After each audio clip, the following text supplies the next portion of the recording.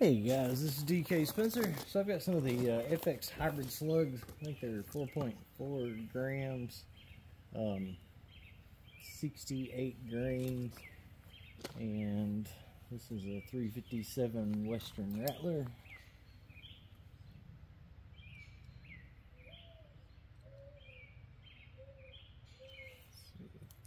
Let's see, we?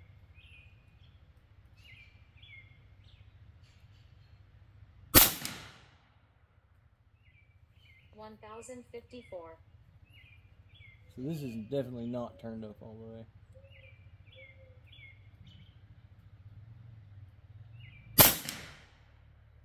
One thousand fifty four.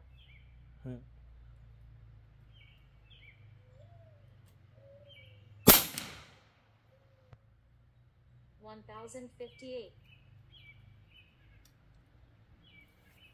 So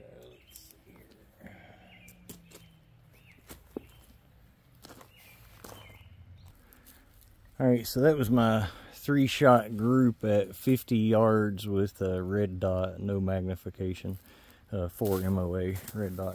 So, um, definitely gonna give it a couple more clicks to the left.